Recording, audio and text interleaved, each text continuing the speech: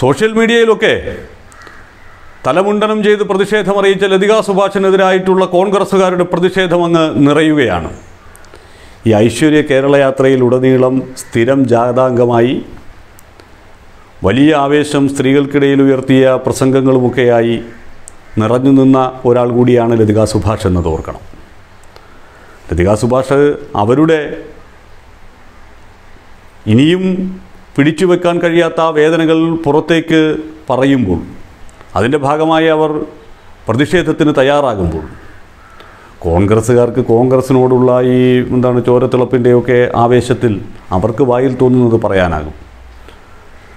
പക്ഷേ അധികാരമോഹം കൊണ്ടാണ് സീറ്റ് മോഹം കൊണ്ട് മാത്രമാണ് ഇവരൊക്കെ ഇങ്ങനെ കാണിക്കുന്നത് എന്ന് പറയുന്നവരോട് ലതിക സുഭാഷ് പറയുന്ന ഒരു മറുപടിയുണ്ട്. ഞങ്ങൾ ഈ പ്രസ്ഥാനത്തിന് വേണ്ടി അനുഭവിച്ചൊരു വേദനയുണ്ട്. ആ വേദന വലുതാണ്. പാർട്ടിയിൽ സ്ഥാനങ്ങൾ കിട്ടിയിട്ടുണ്ടെങ്കിൽ കഠിനാധ്വാനം ചെയ്തിട്ടാണ്. അല്ലാതെ പെട്ടി തൂക്കിയത് കൊണ്ടോ വേറെ എന്തെങ്കിലും സ്വാധീനങ്ങൾ ഉപയോഗിച്ചോ അല്ല തങ്ങളത് നേടിയെടുത്തത് എന്ന് ആത്മാഭിമാനത്തോടെ പറയാൻ കഴിയുന്ന നേതാക്കളിൽ ഒരാളാണ് ലതികാ സുഭാഷും. അധികാര കൊതിമൂത്താണ് ലതികാ സുഭാഷ് ഇങ്ങനെയൊക്കെ ചെയ്യുന്നത്. അല്ലെങ്കിൽ ഈ സീറ്റ് കിട്ടും എന്ന് കരുതിയിരുന്ന പല ആളുകളും ഇത്തരത്തിലുള്ള പ്രതിഷേധങ്ങൾ നടത്തുന്നത് എന്ന് പറയുന്നവരോട്. അധികാര കൊതിയില്ലാഞ്ഞിട്ടാണോ ഇത്രയും വലിയ ആരോപണ വിധേയനായി നിന്നിട്ടും എത്രയോ തവണ മത്സരിച്ചിട്ടും ഒടുവിൽ ജനം തിരസ്കരിച്ചിട്ടും ഇപ്പോഴും കെ ബാബുവിനെ സ്ഥാനാർത്ഥിയാക്കണം എന്നുള്ള കടും പിടുത്തമുണ്ടാക്കിയതും മുഴുവൻ ആശയക്കുഴപ്പമുണ്ടാക്കിയതും കോൺഗ്രസ് നേതൃത്വം. ആറന്മുളയിൽ ശിവദാസൻ നായരെ പിന്നെയും സ്ഥാനാർത്ഥിയാക്കണം എന്ന് ആഗ്രഹം തോന്നിയത് ശിവദാസൻ നായർക്ക് ഒരു അധികാരമോഹവുമില്ലാത്ത സാത്വികനായ കോൺഗ്രസ്സുകാരനായതുകൊണ്ടാണോ? കെ സി ജോസഫിനെ കാഞ്ഞിരപ്പള്ളിയിൽ മത്സരിക്കാൻ ഉമ്മൻചാണ്ടി പഠിച്ച പണി പതിനെട്ടും നോക്കിയത്.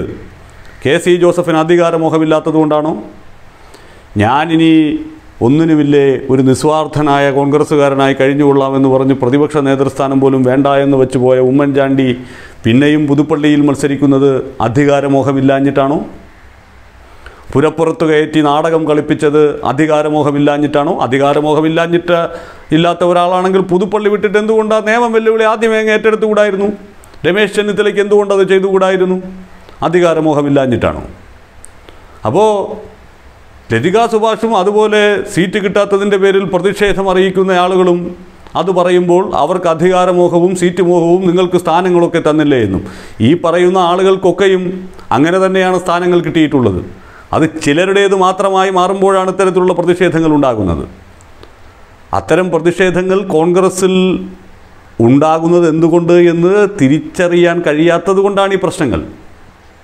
വലിയ കേമത്തരം ആയിട്ടാണ് കാര്യങ്ങൾ പറയുന്നത്. അങ്ങനെ കേമത്തരമായി പറയുമ്പോൾ തന്നെ കോൺഗ്രസ്സിന് തിരിച്ചറിയാൻ കഴിയാതെ പോകുന്നത് എന്തുകൊണ്ട്?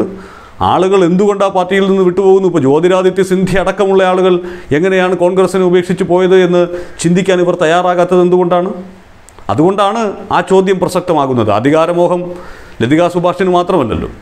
കെ ബാബുവിനില്ലേ ശിവദാസൻ നായർക്കില്ലേ ഉമ്മൻചാണ്ടിക്കില്ലേ ചെന്നിത്തലയ്ക്കില്ലേ അവർക്കൊന്നുമില്ലാത്ത അധികാരമോഹം ലതികാ ഉണ്ട് എന്ന് നിങ്ങൾ പറയുന്നുണ്ടെങ്കിൽ നിങ്ങളെ രാഷ്ട്രീയ എന്താ ഭിക്ഷാന്തേഹികളെന്ന് വിളിക്കേണ്ടി വരും. അല്ലെങ്കിൽ ഇവർക്ക് വേണ്ടി എന്തോ മറ്റേ ചുമട് പണിയെടുത്ത് നടക്കുന്ന ആളുകൾ എന്ന് മാത്രമേ വിളിക്കാൻ കഴിയൂ. ആത്മാർത്ഥതയുള്ള രാഷ്ട്രീയക്കാരെന്ന് വിളിക്കാൻ കഴിയില്ല. അങ്ങനെയാണെങ്കിൽ ആ പ്രതിഷേധം അവർക്കെതിരെയും ഉണ്ടാകേണ്ടതല്ലേ?